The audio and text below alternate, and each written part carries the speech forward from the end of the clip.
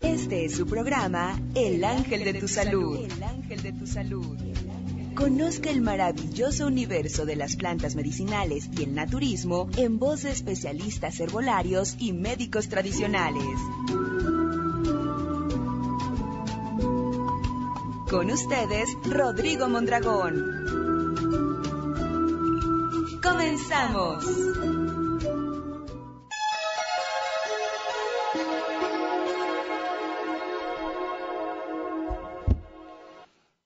Hola, ¿qué tal amigos? Muy buenos días. Con ustedes, Rodrigo Mondragón, la voz del ángel de tu salud, con el gusto y placer de siempre. Vamos a platicar acerca cómo afecta el apetito, pues algunas emociones que escapan de nuestra comprensión, tenemos que analizarlas, porque pues muchas veces es la raíz de esa falta de apetito en el menor adolescente o incluso del adulto. No tiene hambre, no le encuentra sabor, el gusto a los alimentos, no quiere comer. Y bueno, nada más nos enfocamos a que coma. Sin embargo, pues muchas de las veces no es la solución. Hay que buscar la razón, la causa del por qué no come. Claro, nos manifiesta, nos dice que le falta apetito. Pero igual, ¿no? Esto pues es un síntoma, un signo de que sencillamente no está buscando los alimentos, no está alimentándose. Se está disminuyendo mucho la persona, pues una persona de edad. Que así dice, ¿no? Si manifiesta. No me dan ganas de comer. Y no come. Bueno, hay que empezar desde un inicio, ¿no? Hacer el análisis cuando uno es pequeño. Sí, la mamá batalla bastante, ¿no? ¿Qué nos dice cuando estamos pequeños? Hay que recordar tiempos lejanos a veces. Siéntate y termina. No te levantas hasta que no te acabes toda la comida. Es más, si no comes, no hay postre, no hay recompensa. Y bueno, hay otra más inolvidable. ¿Cómo puede dejar la comida cuando hay tantos niños en el mundo que no tienen nada que comer? Sí. Nuestra madre hacía la lucha para que nosotros tomáramos los alimentos y batallaba bastante, ¿no? Igual nosotros. Muchas veces tenemos o tuvimos que lidiar con los pequeños porque no comían bien no se acababan lo que se les ponía en el plato. Y bueno, cuando no atienden las sugerencias, las reglas o las imposiciones de sus mayores, pues el adulto sí cae en desesperación. Todos los días es empezar la batalla, utilizando pues los recursos que hay, a veces manipulación de todo tipo. Esta reacción es hasta cierto punto normal por parte de los mayores, porque se preocupan, ¿no? Definitivamente se preocupan porque los jóvenes se nutran, desean hacer todo lo posible para que así suceda. Sin embargo, hay que, algo que debemos de considerar cuando alguien, no solamente los niños, no quiere comer. Y ese algo que debemos de analizar, tomar en cuenta o considerar, es un mundo emocional. Sí, porque podemos encontrar algunos tips para que los niños coman, chantajear, manipular, premiar. Pero finalmente eso va a tener un efecto de premio-castigo, ¿no? Y eso puede afectarles más grandes, cuando estén más grandes, porque pues van a pensar en el estímulo, en la recompensa, que siempre son dulces, ¿no? El famoso postre. Y bueno, ellos mismos se van a buscar su premio si es que ya no está cerca que se los daba, ¿no? Esa persona que les favorecía con su premio, Hoy en día, pues eso debería de alejarse de nuestras prácticas de estímulo hacia los menores, porque después ese tipo de buena intención se convierte en algo que les afecta en su salud porque se ponen con tanto dulce, con tanto pan, con tanta galleta, con tanto pastel, se ponen obesos y entonces ya entran a terreno, a terreno prohibido, ¿no? Donde hay padecimientos degenerativos del corazón, de la diabetes, del colesterol y demás, ¿no? Un sinnúmero. Bueno, aquí hay que regresar al punto, ¿no? Tenemos que ver cómo motivar a la persona que no tiene apetito indagando exactamente qué es lo que pasa por su corazón, por su mente, por su sentimiento. ¿Qué es lo que está relacionado o que pudiese haber con su falta de apetito? Y bueno, podemos darle todo un giro, incluso comer pudiera ser un momento para nutrir no solamente el cuerpo de alimento, sino nutrir las emociones, al mismo tiempo las dos cosas. La falta de apetito puede revelar cosas interesantes acerca del mundo interno de los jóvenes, de los pequeños o de los adultos también, claro, gente de edad también. Que a veces no lo pueden expresar, no lo pueden revelar, no lo pueden aflorar, pero hay algo ahí, ¿no? Por ejemplo, es muy común que los jóvenes se sientan sin apetito cuando están estresados, cuando tengan alguna, algún resentimiento, alguna rebeldía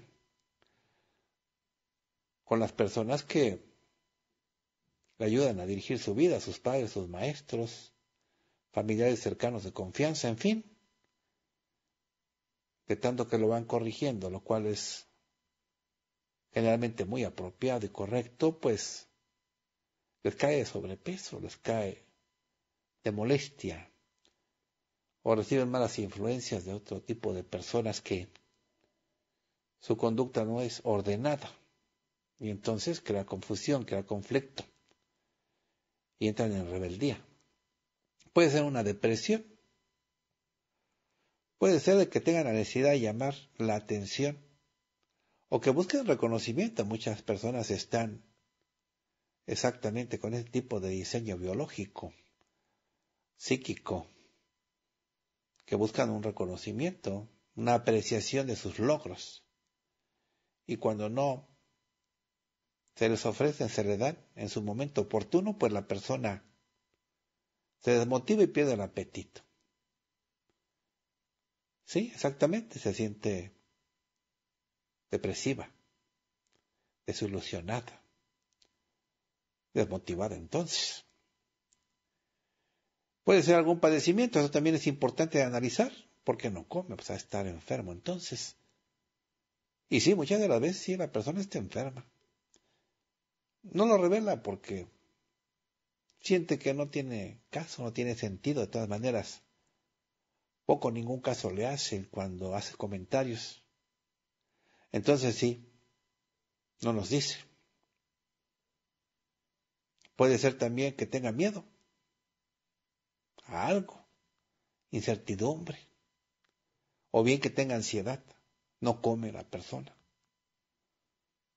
Entonces la falta de apetito podría ser una pista importante que no buscarlo como una agresión, como un problema, sino como una señal. Entonces puede ser una pista importante para comunicarnos con los inapetentes de una forma más profunda. Podemos dar la oportunidad de conocerlos más. Pero también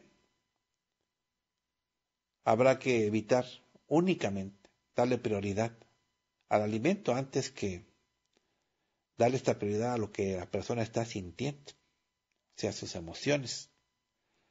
Si nada más pensamos en come,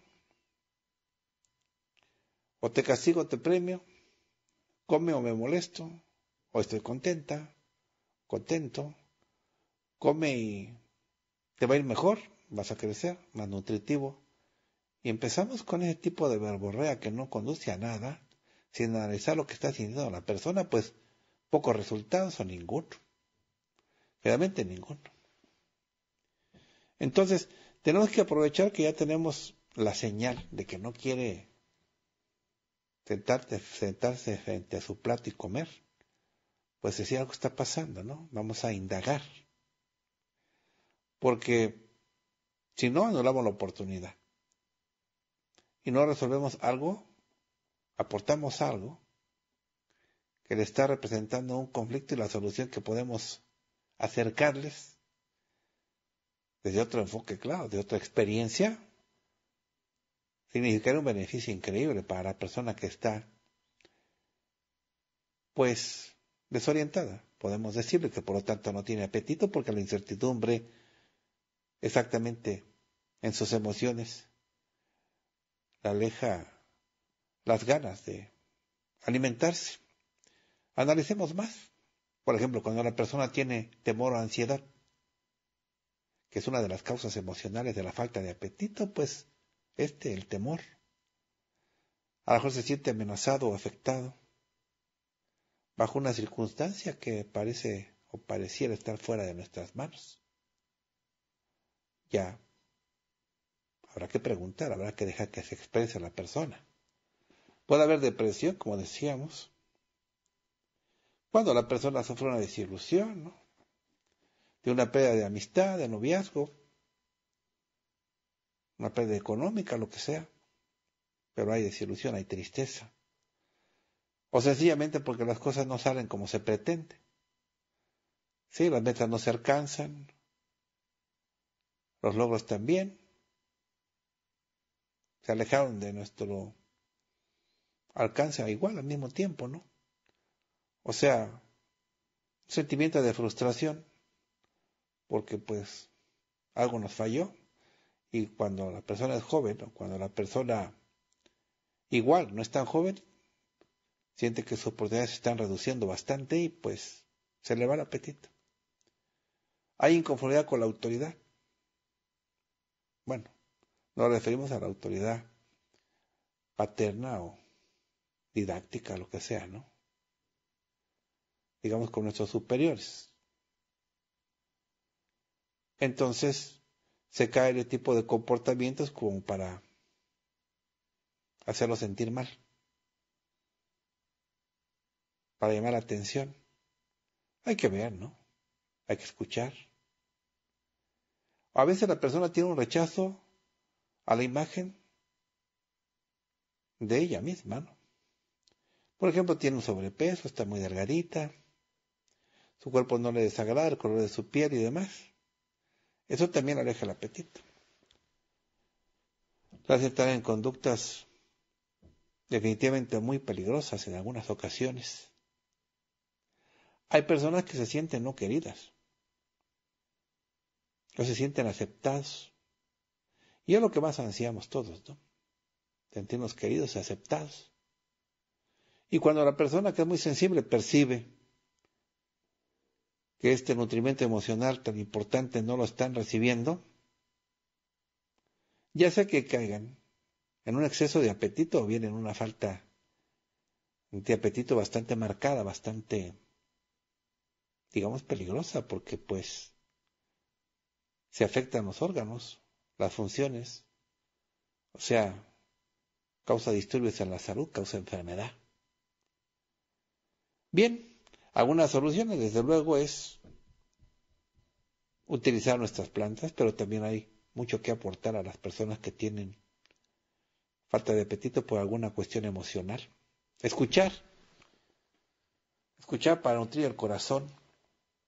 Miren, muchas de las veces, pues, el exceso de trabajo, preocupaciones, lo que hace uno es mandar a una persona especializada al menor, pero pues, ni lo conoce. No estoy en contra de eso de ninguna manera. Lo que sí, yo pienso que la primera atención o la, el primer escalón de atención tienen que ser los padres. No, necesariamente tienen que ser psicólogos profesionales para entender lo que está diciendo el menor, las demandas, los problemas, los conflictos de niños y jóvenes, o de personas de edad también. Y pueden hacer mucho, ¿eh? Estoy seguro que incluso más que una terapia, terapia profesional. Es simplemente tener intención, una mente flexible, una buena capacidad para escuchar al jovencito o a quien sea. Y aunque sea difícil de creer, esto resulta más fácil, más fácil de llevar a cabo conforme los pequeños crecen y se vuelven adolescentes.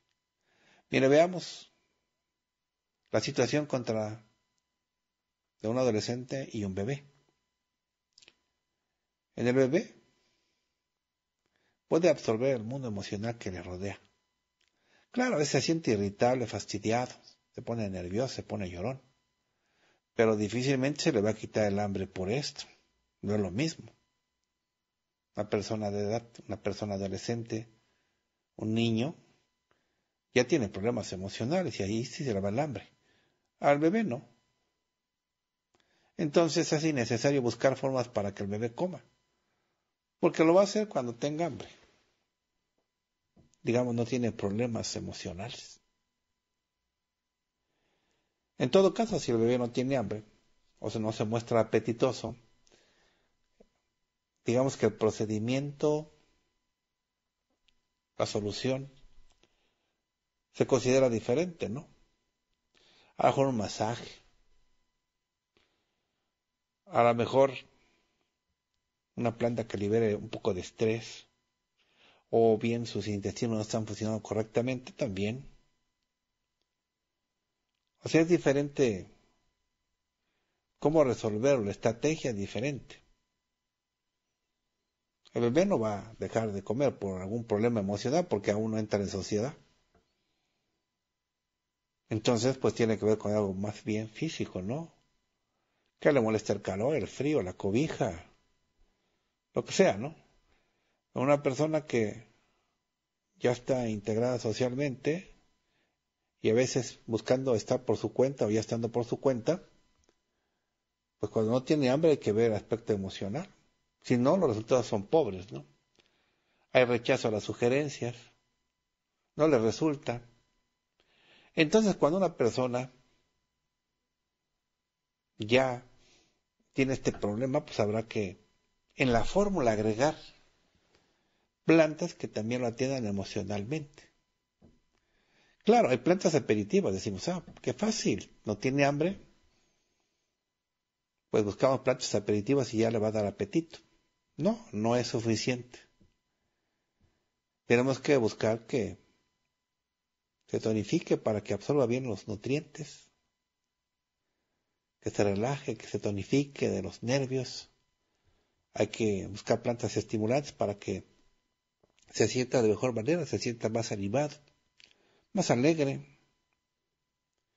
Pero sí, aquí en esta estrategia hay que trabajar de manera diferente y buscar plantas apropiadas. Es lo que vamos a hacer el día de hoy. Vamos al corte regresamos.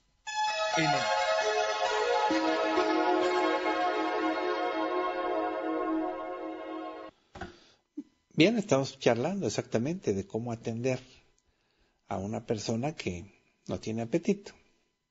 Hacíamos hincapié en que realmente no se trata de buscar despertar el apetito buscando plantas aperitivas, o bien situaciones de premio y castigo que a veces se les propone a las personas o a los menores. Lo que hay que buscar exactamente en el plano físico y emocional que le está sucediendo.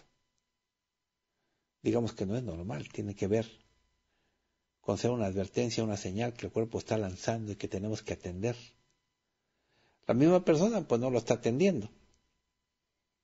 Porque a veces la misma persona cuando es un problema físico dice, ¿no? Tengo dolor de estómago, no digiero bien, tengo diarrea, me siento muy indigesto, pues no. No deseo comer. A veces es una mecánica del mismo cuerpo cuando la persona ha comido demasiado, ¿no? entonces no está trabajando bien los intestinos, si se entiende, ¿no? Que la inapetencia podría ser una mecánica del organismo para que pues no retaque más de comida a su estómago, para que se libere lo que está en tránsito, está muy inflamado, y te reposo, no comer comida tras comida con tanta frecuencia, pero ahí el paciente está consciente, ¿no? Pero ¿qué pasa cuando el, cuando el paciente no detecta, porque es algo emocional, no asocia que lo que está sucediendo con su sentir, con su pensar, ya le alejó el apetito. Por eso es de que habrá que escucharlos, ¿no? Convertir, deseamos, la mesa en una manera de nutrir la mente, sintiendo paz y armonía, para que realmente la persona se sienta satisfecha de su necesidad de expresarse, manifestarse, que le entiendan, que le pues vean de manera diferente. Si no tenemos que ser los padres necesariamente, podemos ser los amigos. Escuchar es una situación que ayuda mucho, una conducta, una medicina que apoya, que apoya mucho a la persona que está inapetente y a veces ya es peligroso, porque pues ya tiene tiempo que la persona ha dejado de alimentarse, no se siente acompañado, no se siente motivado. Cambió su mundo, ¿no? ¿Qué nos pasa, no? De pronto tenemos esa dicha, ese disfrute de estar a la mesa con los menores, con los hijos, con los jóvenes, con la pareja, y de pronto pues ya todos partieron a, hacer su vida, ¿no? Sus hogares, sus casas, sus propias familias. Obviamente hubo ese partir que nos hace sentir nostalgia, tristeza, pero bueno, son cambios que habrá que aprender a superar aprender a entender que definitivamente puede hacer la vida. Bueno, retornemos a los jóvenes. Si nos volvemos sensibles y aprendemos a escuchar con atención y cariño, ah, claro, sin involucrar nuestro juicio, nuestra opinión, nuestras correcciones, porque entonces estamos escuchando. Porque a veces Saber escuchar significa intentar abstenerse de decir está bien, está mal, yo haría esto. No, no. Escuchar nada más. Es una de las formas más sencillas, sabias y poderosas de ayudar a aquellos que están confundidos pero que están reflexionando al mismo tiempo que van platicando, van reflexionando.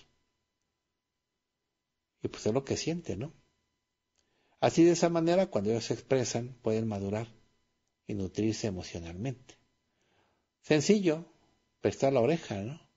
Ayuda mucho a los jóvenes, a los amigos, a la gente que está confundida, que tiene sufrimiento interno, les ayuda bastante a liberar muchas, muchas tensiones emocionales.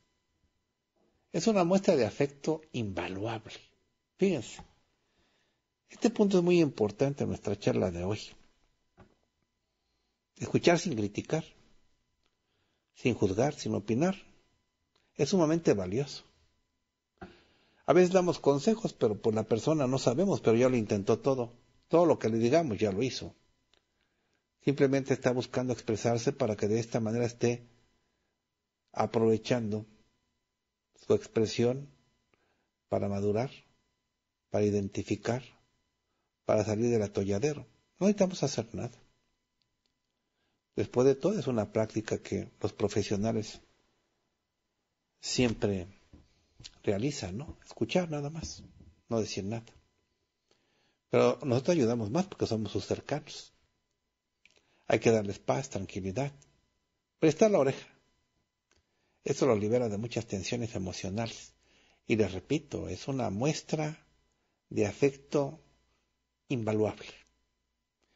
En la comida puede ser un momento extraordinario para escucharlos. Muchas de las veces este momento, la comida, es el único momento que se tiene para compartir una plática nutritiva. Incluso hasta los pequeñitos, ¿no? Hay que dejarlos que se expresen. Pues no hay que considerar que están diciendo cosas tontas o divertidas, tampoco hay que reírse, ¿no? Tampoco hay que burlarse. Porque Él se está nutriendo, porque le estamos brindando el oído, o sea, le estamos dando paz, tranquilidad y confort. Y eso nutre el corazón. Le ayuda a asimilar aquello que lo pone intranquilo. Se retroalimenta a la persona cuando se expresa a partir de sus propias reflexiones y sus acciones, por lo tanto es muy benéfico. Aunque no lo parezca, influye en el modo de comer. Les despierta más el apetito el ser escuchados, el estar en paz y tranquilidad con gente de confianza que sabe escuchar, sencillamente. Bueno, vamos a escuchar ahora a Jorge Iván, que tiene comentarios muy interesantes acerca con qué planta podemos ayudarnos. Adelante, bienvenido. Muchas gracias, maestro. Efectivamente, eh, en este caso eh, puede ser de gran utilidad el uso del lúpulo. El lúpulo es una planta que resulta ser un excelente recurso para atender este tipo de trastornos nerviosos. De hecho, desde la antigüedad es una planta que ha sido utilizada para atender afecciones de esta naturaleza. Hoy en día podemos encontrar eh, numerosas referencias escritas que nos indican que el uso del lúpulo era, una, era muy divulgado entre los romanos. De hecho, el lúpulo era utilizado como una planta medicinal para conciliar el sueño. Ellos lo hacían mediante cojines que se encontraban rellenos de lúpulo, es decir, los romanos rellenaban las almohadas con las hojas de esta planta y bueno, pues a través de la inhalación de los aceites esenciales que se desprendían de los mismos, los romanos, bueno, pues lograban entrar en estados de relajación que les permitían conciliar de una manera correcta el sueño. Hoy en día existen muchísimos estudios que han sido realizados sobre los principios del lúpulo y los cuales nos han demostrado que posee más de 20 compuestos a los cuales se les atribuye el efecto sedante de la planta, lo que significa, bueno, que el lúpulo es una planta que tiene la capacidad de tranquilizar, tiene la capacidad de relajar los estados nerviosos. Esto es muy importante, ¿por qué razón? Porque cuando existe un desequilibrio, en el sistema nervioso, bueno, pues se presentan cuestiones que tienen que ver con un nerviosismo que produce una falta de tranquilidad, que llega a producir muchas agitaciones o inclusive, bueno, pues estados de nerviosismo ya muy profundos. Estos, bueno, pues son producivos ante la expectativa de una situación que nos incomoda o pueden ser también producidos sin causa aparente. En este caso, bueno, pues es muy importante utilizar el lúpulo como un recurso que nos ayude a equilibrar los estados nerviosos, que nos ayude a equilibrar las funciones del sistema nervioso. ¿Por qué razón? Porque en caso contrario suelen prevalecer los estados de ánimo negativos. De igual manera, tratándose de cuestiones que tienen que ver con la ansiedad, es decir, con aquellas sensaciones de miedo, eh, con aquellas sensaciones de angustia o de inquietud que suelen acompañarse ante un peligro real o en algunas otras ocasiones ante cuestiones eh, imaginarias, bueno, pues son eh, signos que distinguen a la ansiedad y esta puede disminuirse con el uso de esta planta, con el uso del lúpulo. ¿Por qué? Porque tiene la capacidad de relajar el estado nervioso, tiene la capacidad de tranquilizar y bueno, pues inhibir estos factores que llegan a producir la ansiedad. De igual manera, es un excelente recurso para atender cuestiones que tienen que ver con el insomnio. En la actualidad, bueno, pues los nervios son los causantes muchas veces de la imposibilidad de conciliar el sueño. Esto se debe particularmente a que el sistema nervioso entra en un estado de excitación constante, en el cual no logra relajarse, no logra tranquilizarse, y bueno, pues esto se ve muy eh, presente en las cuestiones que tienen que ver con el insomnio. Entonces, bueno, pues el lúpulo es un excelente recurso que podemos utilizar para dormir mejor. También lo podemos emplear con mucho éxito en el tratamiento de dolores de cabeza.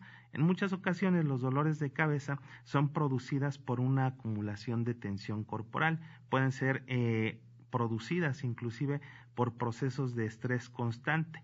En el caso particular, la ingestión de la infusión de lúpulo puede ser de gran utilidad para inhibir esa presión que se genera sobre el sistema nervioso, aunado a que también el lúpulo tiene la capacidad de actuar como un analgésico. De hecho, puede ser utilizado también cuando se presentan palpitaciones, cuando se presentan espasmos o inclusive cuando existe mucha rigidez, mucha tensión muscular.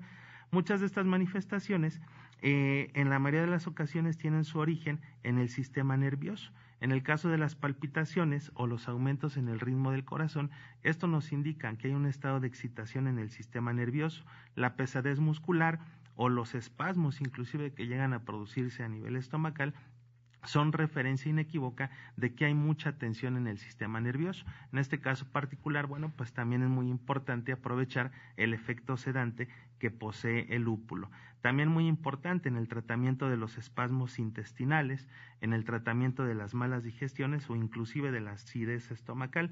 Este tipo de afecciones generalmente responden a un aparato digestivo que se encuentra afectado por un sistema nervioso que funciona de manera alterada. En el caso particular, bueno, pues el lúpulo, además de contener eh, estos principios activos que son sus ácidos orgánicos, sus aceites esenciales, también contiene principios amargos, los cuales son de gran utilidad para corregir esos procesos digestivos que se ven afectados por el sistema nervioso.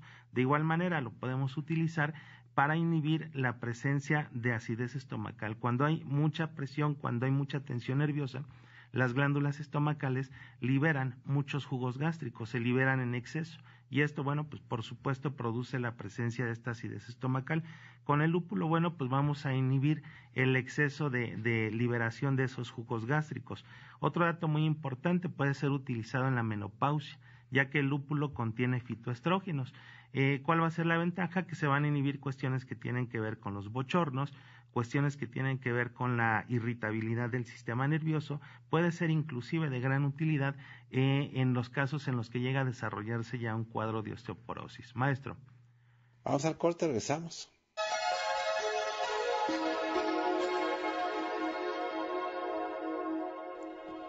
Bien, si usted desea una fórmula, se comunica con nosotros nos ayudará bastante que usted nos proporcione un correo electrónico, pues a dónde envía su fórmula, para que usted la reciba pronto y usted inicie su tratamiento, pues de inmediato.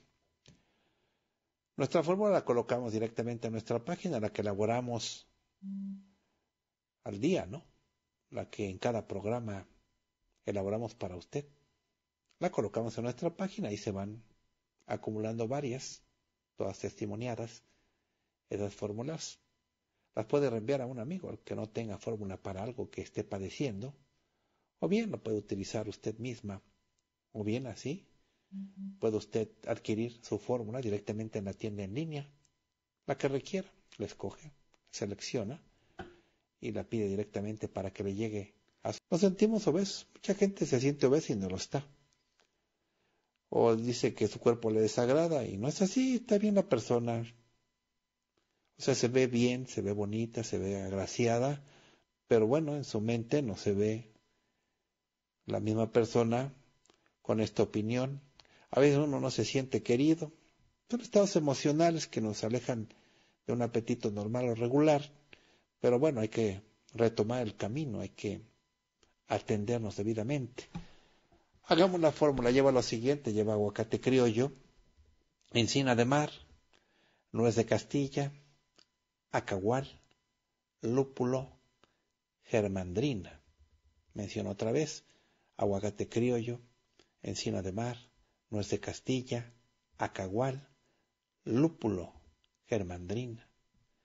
Mezclamos las plantas juntas por partes iguales, ya mezcladas, una cucharada sopera para un litro de agua, 10 minutos de hervor. Se toma después de cada alimento. Después de cada alimento.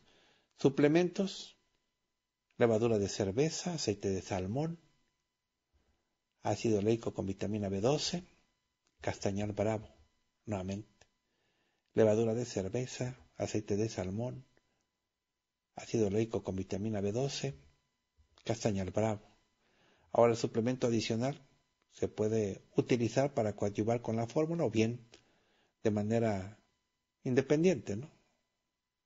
Se puede tomar solo para fortalecer el sistema inmune. En este caso también fortalece el sistema digestivo, sistema nervioso, para equilibrarnos, ¿no? para sentirnos y estar más protegidos con mejor balance. El elixir que contiene AMLA. El elixir que contiene AMLA. La clave es 1801. 1801. Se toma un vasito dosificador al levantarse y otro vasito dosificador antes de acostarse. Dos veces al día es suficiente. Al levantarse, un vasito dosificador. Antes de acostarse, un vasito dosificador. Esto es diariamente. La fórmula está completa. Vamos al corte, regresamos.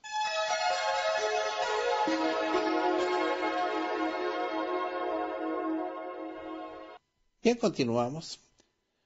Vamos a dar asesoría volada a las personas que nos están llamando vía telefónica, así que las atendemos. Buenos días, ¿con quién hablo? Sí, buenos días, mi nombre es Alejandra. Bien, Alejandra, buenos días, adelante, te escucho.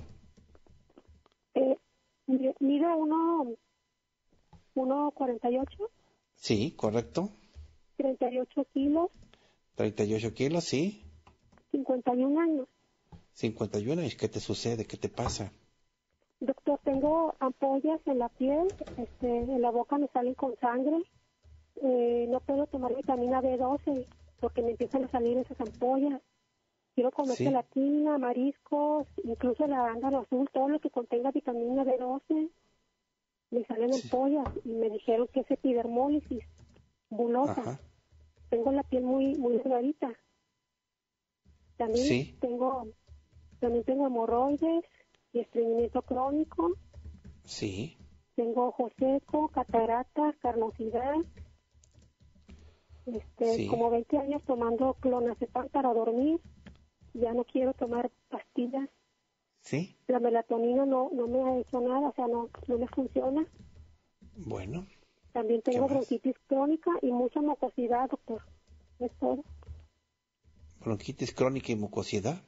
Mucha mucosidad y se me tapa mucho la nariz ya, ya usé el poleo, me lo he puesto, y la cabezona de, río también me la he puesto.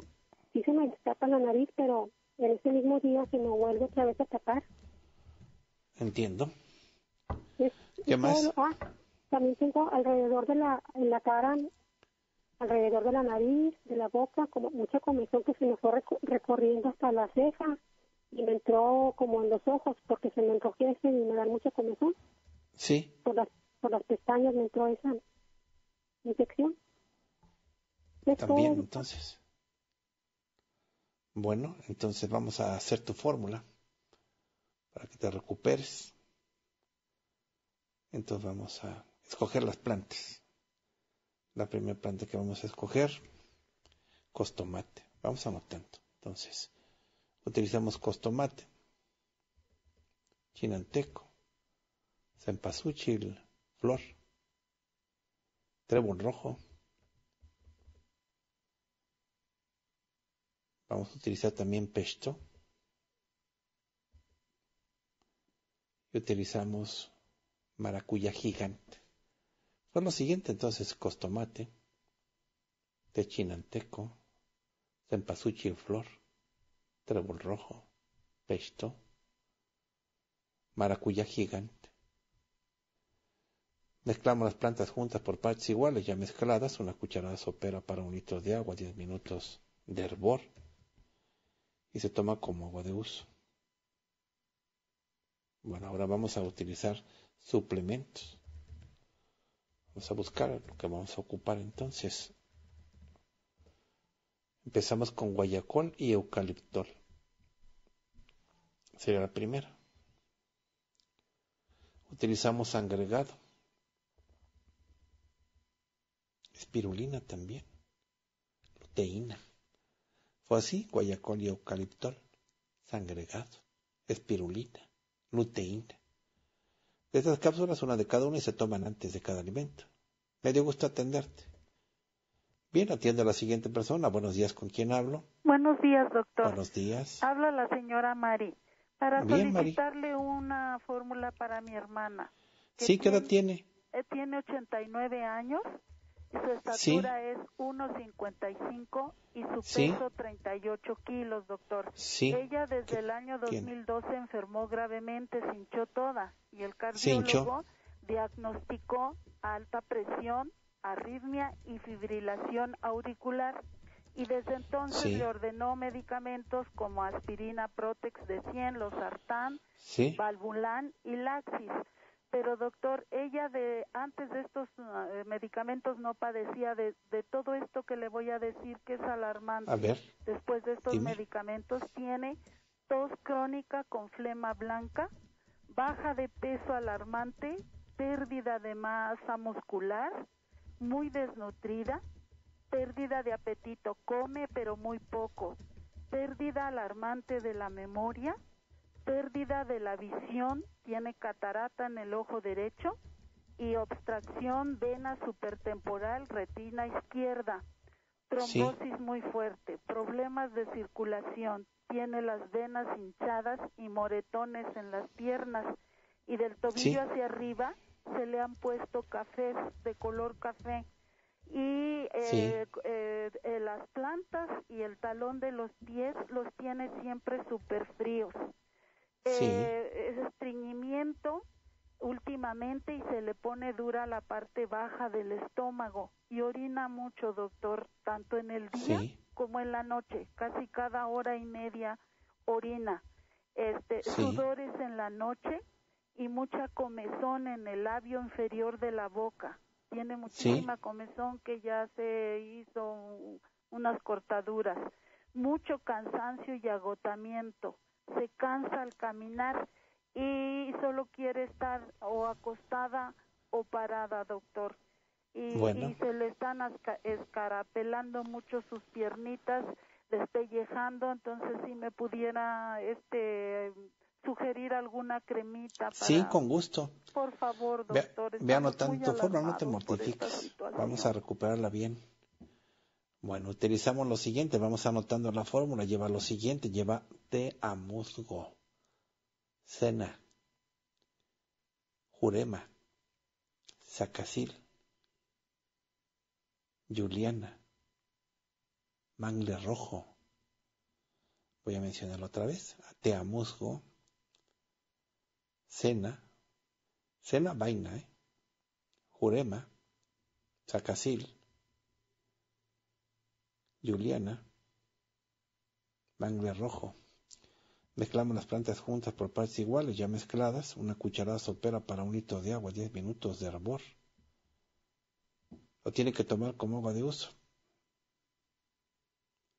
Ahora suplementos. Vamos utilizando lo siguiente maca peruana con vitamina E. Vamos a utilizar también ginseng indio, crisantelo con taurina, gelatina natural. Bien, entonces fue lo siguiente, maca peruana con vitamina E, ginseng indio, crisantelo con taurina, gelatina natural, de estas cápsulas, una de cada una, se toman antes de cada alimento. Me dio gusto atenderte. Bien, ya nos vamos. Muchas gracias por su atención. Gracias por su compañía. Muchas gracias, Jorge Iván. Gracias, por la invitación. Nos despedimos con una frase de Séneca.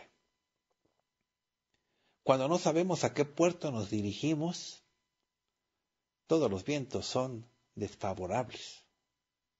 Hasta luego, que esté muy bien.